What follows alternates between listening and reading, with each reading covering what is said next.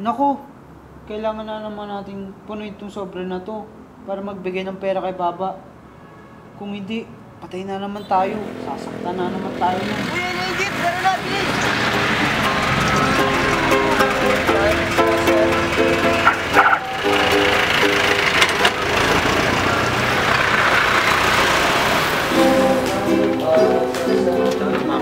Oo,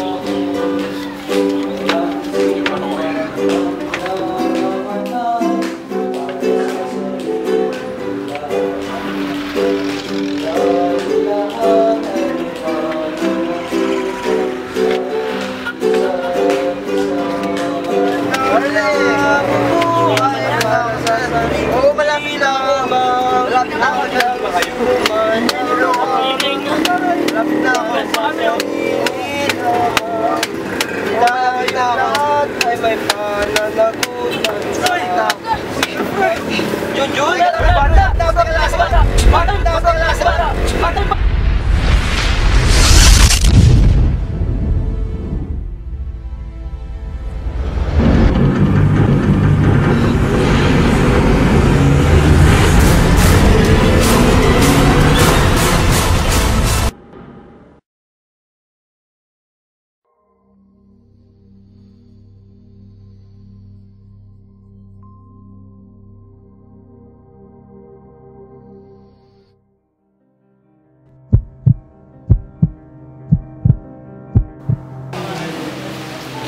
Lord, kayo na pong bahala sa araw ko.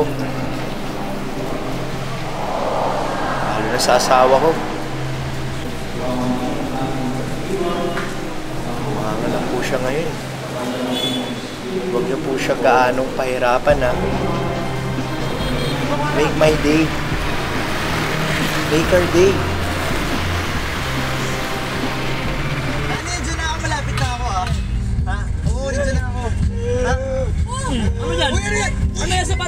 Uy, uy! Ano na yan? Ano na yan? Kasama na yan? kaya, Sir, malapit daw sa mga dito. Basta pinakamalapit na sila. Basta pinakamalapit na sila. Kuya, parang lang. Parang mo. Kailangan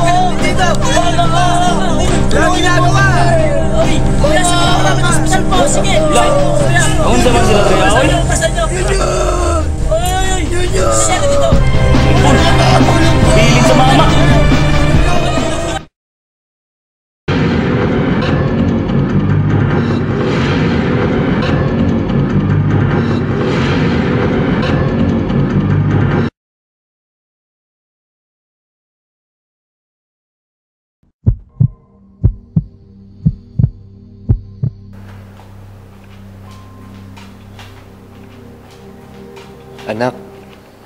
Siguro sa oras na mabasa mo ito, pasakay na ako ng eroplano pabalik ng Qatar. May narapat kong hindi na magpaalam ng formal para hindi na natin pag-awayin ng paglipat mo ng school. Ito na ang tuition fee mo. Susuportahan pa rin kita sa mga pangarap mo. Iingatan mo malaking halagang ito ah. Mamimiss kita. Ingat lagi. Tatay. Mama, mama. Mamaya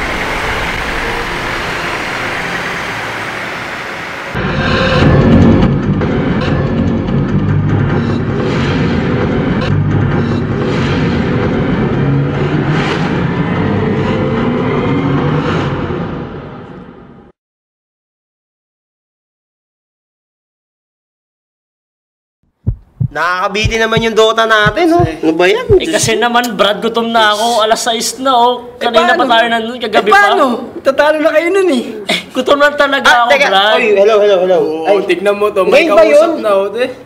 JF niya yata. Ano ba yun? Ay, teka, oy, mauna na ako kasi tinatawag na ako. Ulit. Salamat, salamat. Next time. Ano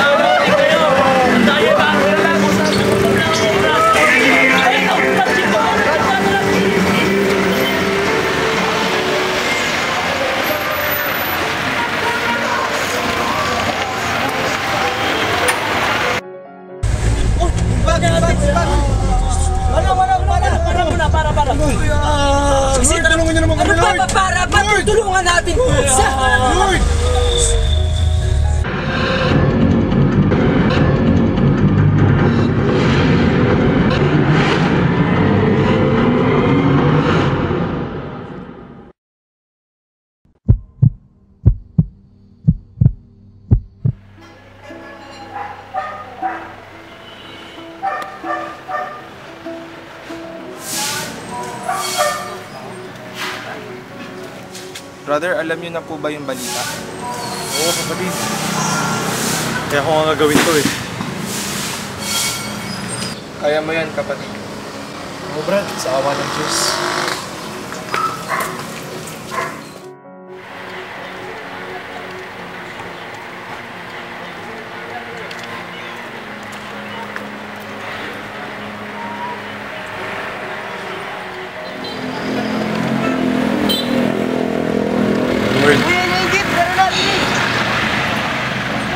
Ko alam, Lord, kung kakayanin ko. Pero, para sa mga bata naman ito eh. Nang bahala sa akin. Ngayon ko lang gagawin to. Kaya Lord, tulungan mo ako.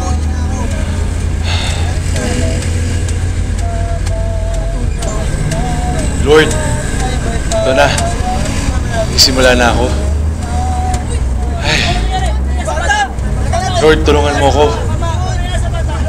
Ako, kinakabahan ako. Lord, Diyos ko, asawa nang ko. bahala. Anong gagawin ko? Malapit eh. Lord, ano ba? Bahala na nga.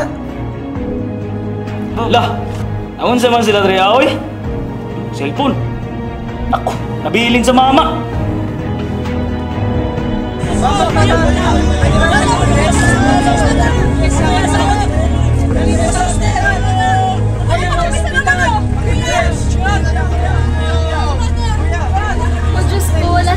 enrollment plan to. Kung kailan malapit na ang school. Bahala na,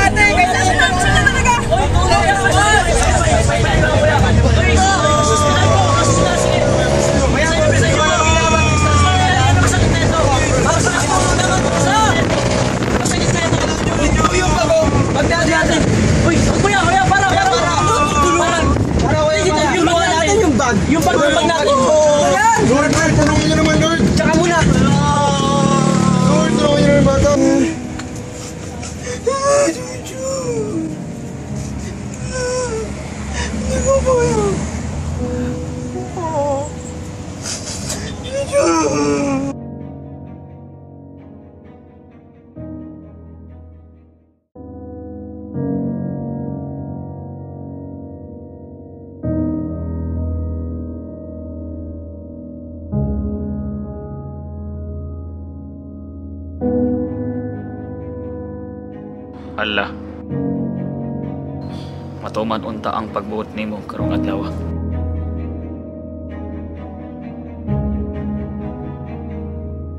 Lawas ako sa tanang dautan.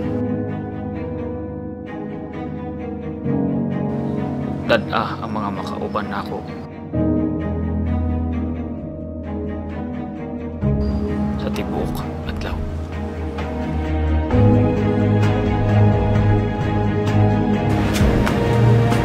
Ano man siya nga to eh? Nalang sa kanina diri oy? Na!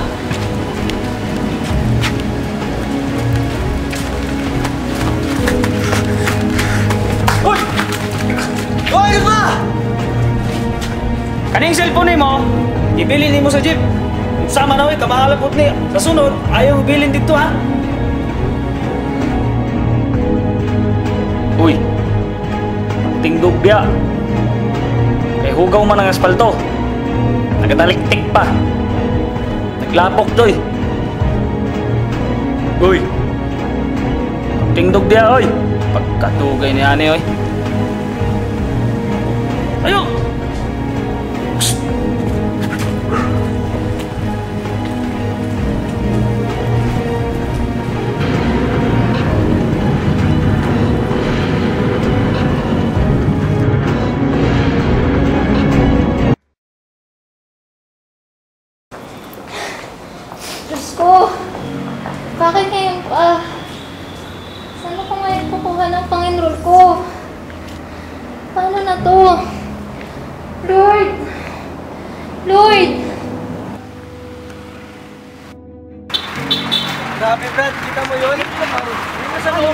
Hindi. Pag muna kailangan niya yung panglahan natin.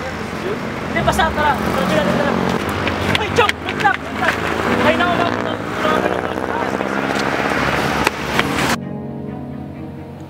May mga bagay lang talagang hindi mo na mababawi. Nakakapanghinayang. Parang ang hirap lang tanggapin. Mahirap. Oo, masakit. Pilitin mo man o hayaan. Gustuhin mo man o hindian. Huli na ang lahat.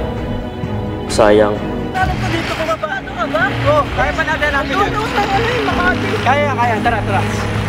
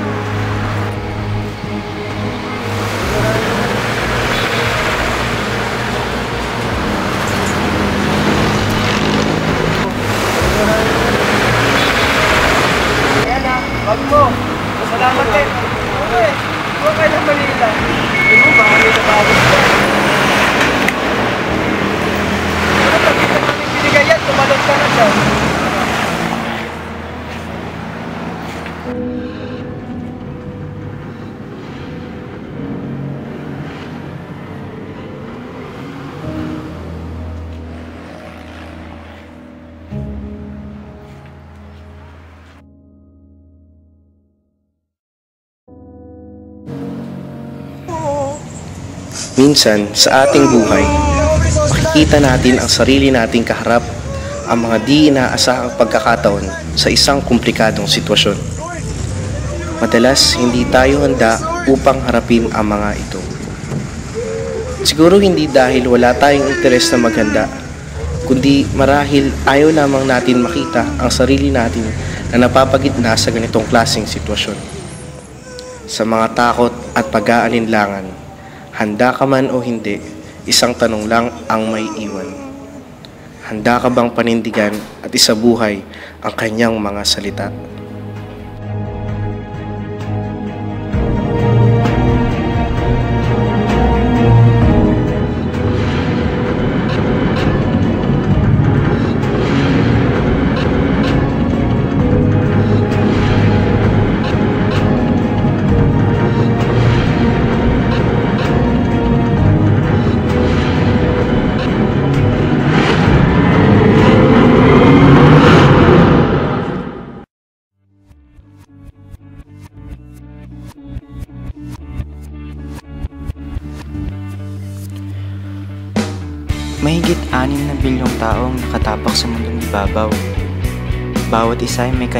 Kanya-kanyang storya.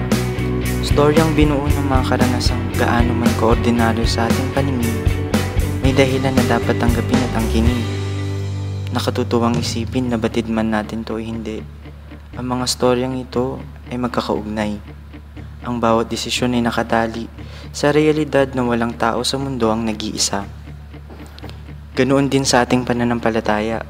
Sa dami ng mga nakalatag sa mundo na pwede nating paniwalaan at yakapin, isa lang naman ang punot dulo ng mga ito. Katoliko ka man o Muslim, may pananampalataya ka man o wala, hindi nating mapagkakaila na ang mahigit anim na bilyong katao ay lulan lamang ng iisang paniniwala at katotohanan na ang desisyong maging mabuti ay walang pinipiling oras o lokasyon, bukas man o ngayon.